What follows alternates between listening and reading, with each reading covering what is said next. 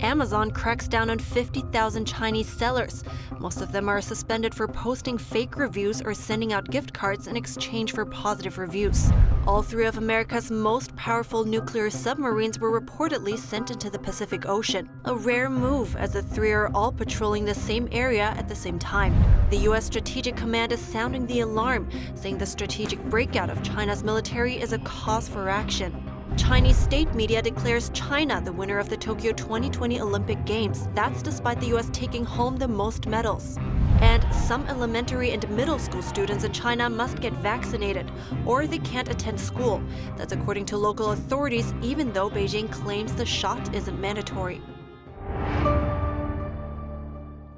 Hello and welcome to China in Focus. I'm Evelyn Lee in for Tiffany today. U.S. retail giant Amazon is suspending 50,000 Chinese sellers.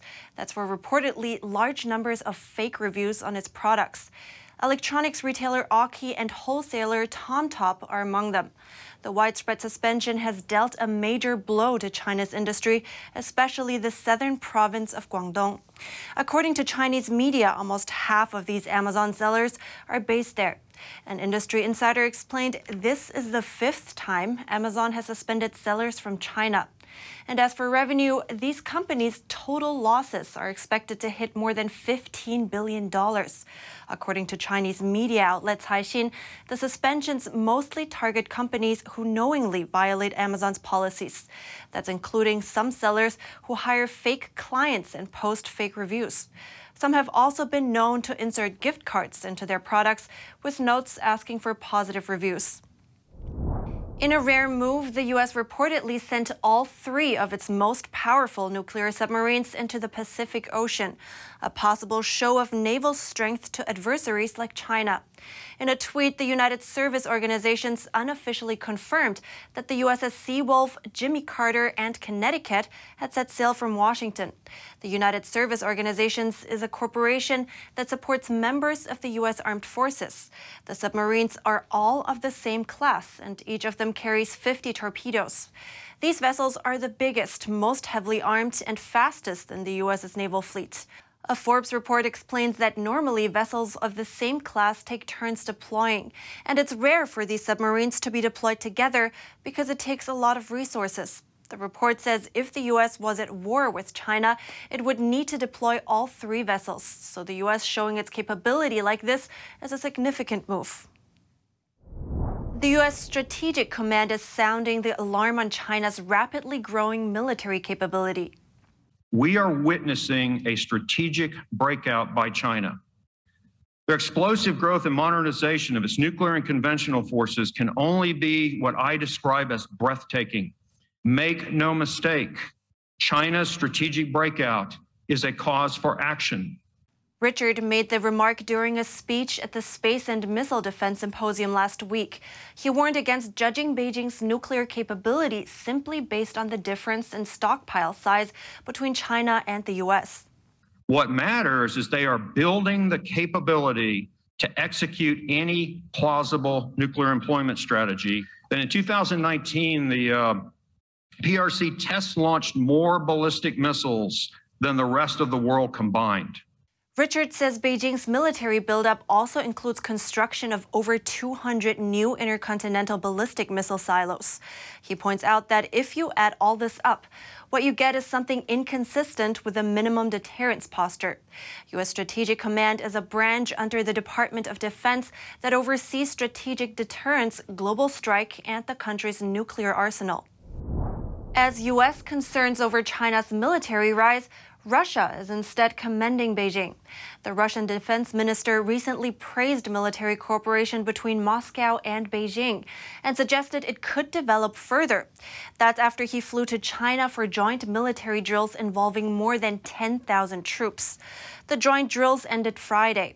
Other nations kept a close eye on the event, looking for signs that the Chinese Communist regime and Russia are expanding military ties and allegiance against the West. Russia and China have conducted joint drills since 2005. But the Russian defense minister noted that this was the first time the Russian military has taken part in an event of this kind in China. With a high level of interaction between armed forces on land, in the air, and at sea. A Russian newspaper said the drills also marked the first time Russian soldiers used Chinese weapons. China remains Russia's biggest trade partner, and the first railway bridge between the countries is set to open soon. Chinese state media is declaring China the winner of the Tokyo 2020 Olympic Games, according to pictures posted online. That's despite the U.S. taking home the most medals. The CCP mouthpiece is assuming the title by claiming medals belonging to Taiwan and self governed regions such as Hong Kong. NTD's Joanna Conway brings us the details. Images on Chinese state run media appear to declare China as a winner of the recent Olympic Games. That's despite the International Olympic Committee officially declaring Team USA as champions. The United States finished with 39 gold medals, 41 silver, and 33 bronze, a grand total of 113 medals. China ended up with 38 golds, 32 silver, and 18 bronze, totaling 88 medals.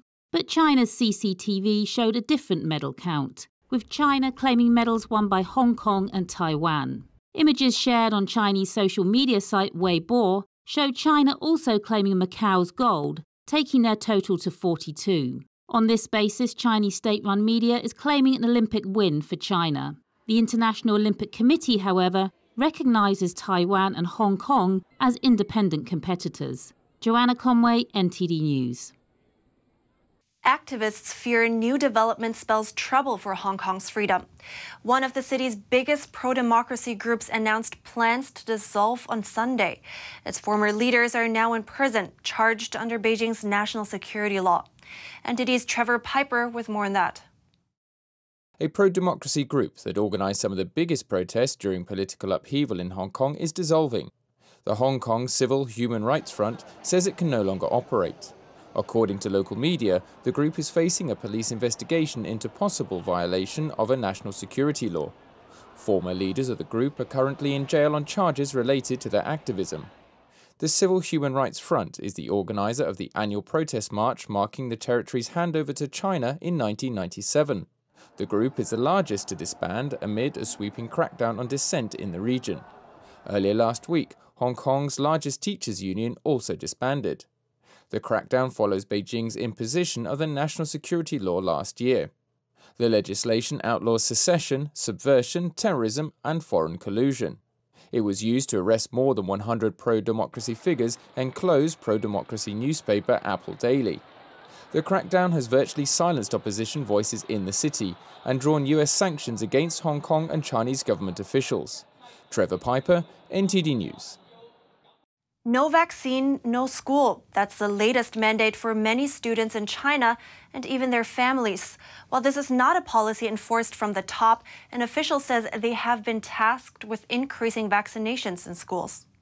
Beijing has said getting the CCP virus or COVID 19 vaccine is voluntary, but several areas in China have recently issued notices ordering students and their families to get the shot. Ms. Chen is from central China's Wugang City. She told NTD about what's going on in her area. Now it's mandatory for primary and middle school students to take vaccines. If not, the kids won't be able to go to school. It's still summer vacation in China. Local authorities are now urging students to get vaccinated before the fall term begins. In northern China, officials in Hebei province are ordering students aged 12 to 17 to get two shots during summer vacation. If they don't, they won't be able to attend school. Reports of the same policy are also coming out of eastern China in Huangshan City. And on top of that, a document from southern China's Guangxi province says if any family members haven't been fully vaccinated, that family's children will be suspended from school. Similar requirements are active in southeast China's Jiangxi province. Ms. Chen explains how layers of officials push the vaccination. They have some documents. Then the mayor will confirm the orders. The teachers will then post the notice. If you haven't taken the shot, the teacher will call the parents. Their kids will be rejected by the school, along with other policies. On the surface, they say it's voluntary, but in fact, what they say from top is one thing, what they do on the lower levels is another. So, why does this happen? NTD reached out to Wugang City's local pandemic control office to find out. Let me tell you the truth. It's the pressure from upper authorities, you see, from Beijing to the province level, from the province level to our city level. That's the case. It's a political mission, even though it claims it's voluntary for people. But it's already set as an assessment criterion to test the local government's ability to mobilize. Ms. Chun explained local authorities force residents to sign an agreement saying should anything happen, they're not responsible for the risks. A woman in China collapsed after taking the country's homegrown virus vaccine. And then just weeks later, she died. Chinese authorities say it's not because of the vaccination. An elderly woman who collapsed after taking a Chinese made dose of the CCP virus vaccine has passed away just three weeks after getting vaccinated. Her relatives question whether the vaccine was directly tied to her death, but authorities work to keep the details quiet. It happened in southwestern China's Chongqing city. She now has heart failure. Her heart rate and blood pressure are half of what's normal, and she can't maintain it anymore. She's like that due to the vaccination. I explained clearly to the doctor that night. Last week, the sister of the deceased woman shared the details with the Epoch Times. She said her sister told her that after getting the shot, she lost sensation from her head to her feet, and that her facial muscles were weakened. She slept during much of her hospitalization. She told us when she was awake, seeing she collapsed when trying to stand up after the shot. I heard another case where a man was outside the ICU talking to the doctor, saying, I'm not saying the vaccine is bad, but my father collapsed after the shot. I was sent to the hospital. Tsai said that officials refused to attribute these cases to the vaccine. There are many cases like that in the hospital. Some died. A person in their 30s got the vaccine shot in the hospital and died shortly afterwards. Maybe the authorities stepped in and got it settled. Many other areas in China have reported similar incidents. In late July, a father disclosed online that his son got a fever and was sickened after getting a Chinese made vaccine and died a week later. Chinese medical experts have called the cases coincidental reactions. They claim the victims had been infected by the virus before taking the shot, but were asymptomatic, and that vaccine shots triggered their symptoms. Part of China are still struggling to get the Chinese Communist Party virus known as COVID 19 under control. In central China's Zhengzhou City, authorities announced over the weekend that all elementary and middle schools will delay reopening for another week. Online lessons are set to begin at the beginning of September. At the same time, all restaurants in the city are closed. Public parks are restricting who can enter, and residential neighborhoods mandate temperature checks for those coming and going. One parent named Mr. Hua told the Epoch Times that his child's school also has a new rule in place saying all parents must provide daily information about the infection risk of the area where the child lives. Areas in the city are divided into high, medium, and low risk zones, reflecting how likely virus infection is there. That measurement mainly comes from the number of confirmed virus cases found in each area. Though, as the virus continues to spread, more low risk areas are getting upgraded to high risk warnings. Zhengzhou City kicked off its fourth round of mass virus testing over the weekend. In comments to the Epoch Times, Mr. Hua also explained he witnessed something unusual during the rounds of public testing. He described that in the first three rounds of virus testing, locals came en masse creating waiting lines at check in stations that moved slowly. But by the fourth round, very few people showed up. The whole process only took half a day, and the lines were short throughout. That's compared to the third round of testing, which took two full days to complete. Mr. Hua says he suspects either fewer people want to get tested now or that the public wasn't fully informed by authorities. People in China are still dealing with the effects of the floods, but it's not easy for journalists to get their stories out. The Epoch Times spoke to a local who lived through it. Let's hear their perspective. NTD's Don Ma has more. Severe flooding in parts of Hubei province last week following heavy rain. Official reports say more than 8,000 people are affected and over 20 people killed. But a survivor's eyewitness account suggests the death toll could be higher. In parts of Suizhou City, floodwater levels rose above 8 feet. A local flood victim tells the Epoch Times her account of the disaster's severity. The first floor of buildings have been completely submerged. People have escaped to the second floors. Some homes don't have a second floor. Floodwaters block the door shut. You can't open it. They just drowned in their home. What can you do? So many people drowned. There are even families of four or five that all drowned. It's terrible. Ms. Zhou says the flood came during the night on Thursday when most people were fast asleep. What's more, floodwaters rose suddenly. It was so dangerous at the time. People had nowhere to escape. Around 2 or 3 a.m., my neighbor went out to try to save his car, but he ended up getting washed away by the flood. Even now, he's yet to be found. His family is searching everywhere. They have no idea where he is. The first floor of Miss Zhou's home is also flooded, but luckily her home has a second floor. Floodwaters are starting to recede from the roads, but they still can go to the store. The water is still covering the roads. Cars can get across. Water level in the river are not going down. There's so much damage and loss. Reports came last week saying that dozens of reservoirs in Suizhou City are overflowing, and at least one of them had discharged water. Ms. Zhou says some official rescue workers came, but turned back when they couldn't get past the flooded roads. It's a common practice for authorities in China to discharge water from reservoirs when they're at risk of overflowing amid heavy rain. Authorities often release the water at night and without warning, so they don't have to pay compensation to residents affected. Don Ma, NTD News. 70,000 flood victims have nowhere to go after authorities drove them out of their temporary housing with concerns about the virus. The authorities had moved them there so they could flood the residents' homes siphoning off water from a reservoir. Over 70,000 people in China's Henan province are being displaced again. They were first directed to leave their homes in compliance with authorities' flood policy, but now they're being kicked out of their new shelters for fear of the pandemic spreading. Late last month, flood risks started ramping up. Located inside a major flood zone, the county of Wangzhuang evacuated its residents. Once cleared, authorities exploded open a nearby dam and let the flooding in. The decision was made in order to protect another wealthier area from extreme flood damage. One Wangzhuang resident was arranged to stay in a disaster shelter at a local college. To protect her identity, we give her a pseudonym, Guo Li. Guo told the Epoch Times she lived at the shelter for nine days, but was then dismissed amid fears the virus would circulate there. Official numbers report nearly 150 confirmed CCP virus or COVID 19 cases in the province. Authorities are concerned that once cases emerge inside the shelter sites, further spread will be hard to control. They dismissed everyone. Buses took us to the crossroads of a local county hall, but we didn't get a chance to see the officials, and nobody helped with our settlement. We cannot return home and have to find a place to live.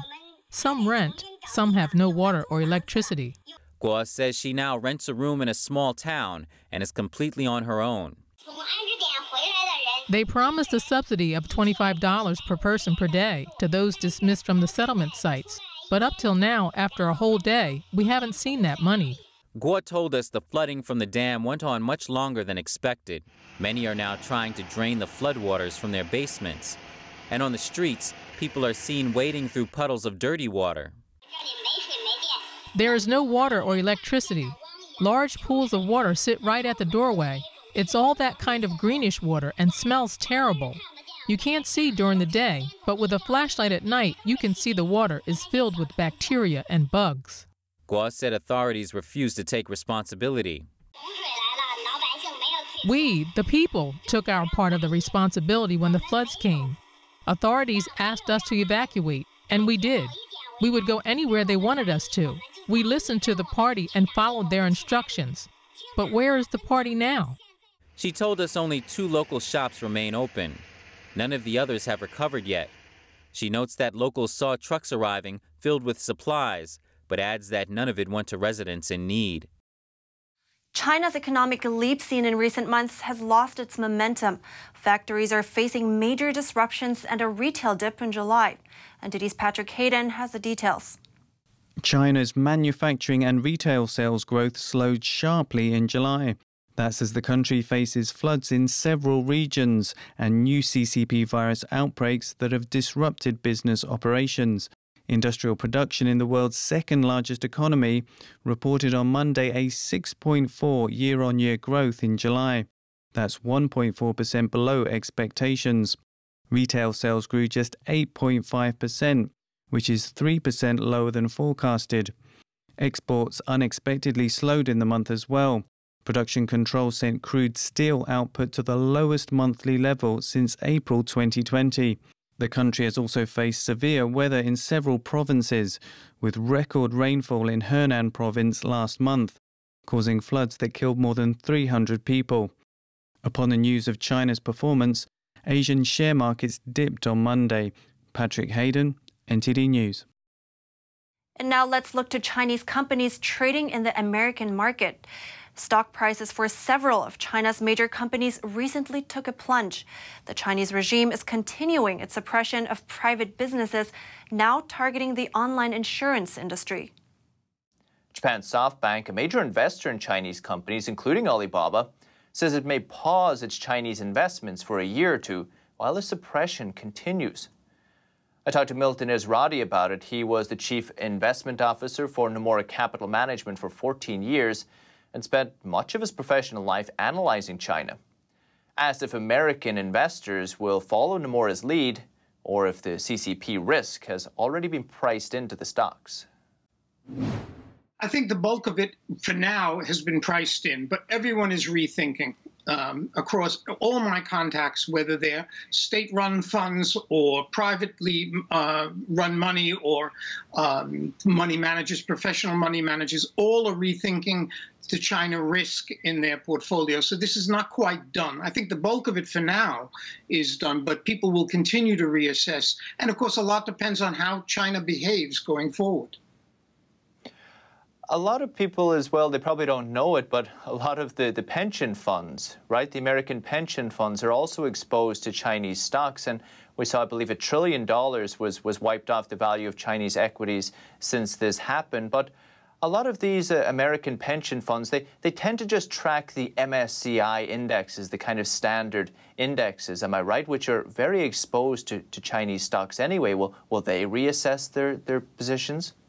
Well, they could. I mean, if they're in an index, it might be more difficult. Of course, China is now a much smaller part of the index than it was six weeks ago because it's all a value based situation. So their exposure to China has fallen with the devaluation of the Chinese stocks.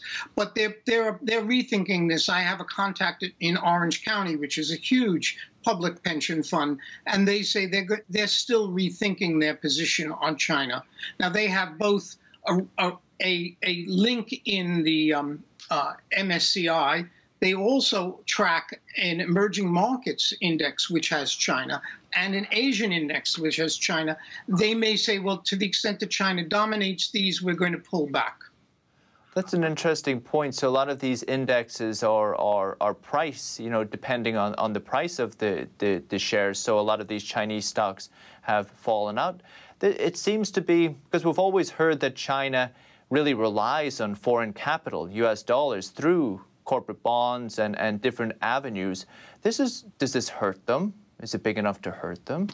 Um, I think it, it could be. If people avoid China, uh, the investments in China, then it will it will hurt China. Um, and as I said uh, in many of my things I've written, of course, I don't think that bothers the Chinese Communist Party as it would any other government because they value secrecy and control over growth. But this could harm Chinese growth. They have grown throughout this enormous, fantastic growth period on foreign capital. Interesting. And I really feel that a lot of these big companies, your Alibabas and your Tencents, they they did at least among a certain number of people, they, they, they helped the Chinese image and they helped the image of the Chinese Communist Party. They became very mainstream. Alibaba is, is a mainstream company. And when you think about the totalitarian nature of the CCP, you would think this is a great win for them. But how important was that innovation? And, and do you think this type of suppression will suppress this type of innovation going forward? Well, I think it will, especially since the, the party or Beijing, the government in Beijing, and they are one and the same, um, has made it very clear that they're willing to sacrifice these uh, these growth opportunities, what we would consider modern um, uh, growth opportunities, whether it's Alibaba or ride hailing or any of the other things that uh, that they have stepped on effectively. Um, I think that there's going to be less of this kind of development that goes on. There will be less foreign capital put into it. And it, it, it defeats China in another way as well. Uh, as early as 2005, 2006, we had people in China saying um, we have to um, uh, uh, shift away from manufacturing export oriented economy toward a more consumer based economy, that kind of balanced growth that China needed. And this, of course, is defeating that shift. And that's it for today's China in Focus. Thanks for tuning in and see you next time.